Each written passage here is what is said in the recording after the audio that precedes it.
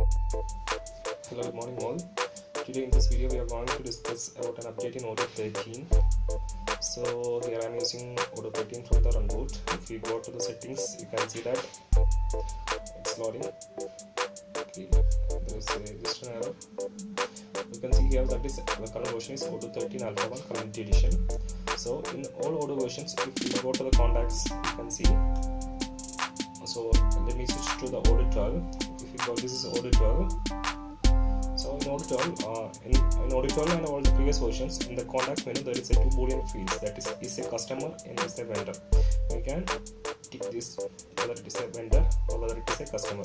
This boolean fields has been removed from Odoo 13 onwards because from Odoo 13 onwards the customer will be by default is a vendor as well as this customer. If I switch the view to the Odoo 13, if I go open the administrator contract, if I go to the sales and purchase tab, you won't see that you, you won't see the boolean fields. As you see in 12 here there's a fields is customer is vendor. The same fields will be removed by from the Odoo 13 so if I go to uh, administrator is here if I go to sales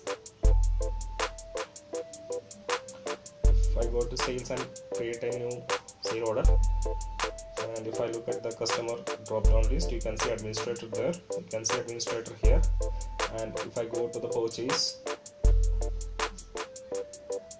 and try to create a new quotation in the drop down also administrator will be there. So by default the contact will be shown in both sale order and purchase order. That is the contact will be purchase the contact will be vendor as well as the customer. So there is no further classification of the same from Odoo 13 thank you